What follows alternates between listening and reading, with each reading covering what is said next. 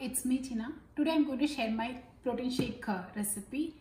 This is a shake I have after my workout. It keeps me full for 2 hours. Actually I'll make it in uh, two ways, depends on my mood. So I will share uh, both the ways today. I'm going to show the first preparation. I'm going to add um, half cup almond milk or any milk of your choice. Next I'm going to add uh, 1 teaspoon of peanut butter. Then I'm going to add half banana.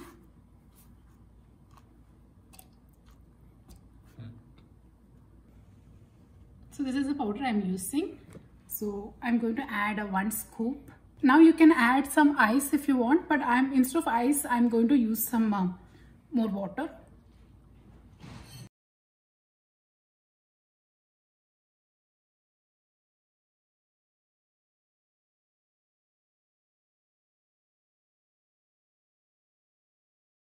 Now I will show the second one. So this is the most uh, simple way. If you don't like too sweet, this is the one for you.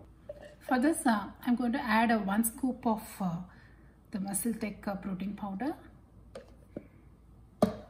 And uh, I'm going to add water as required.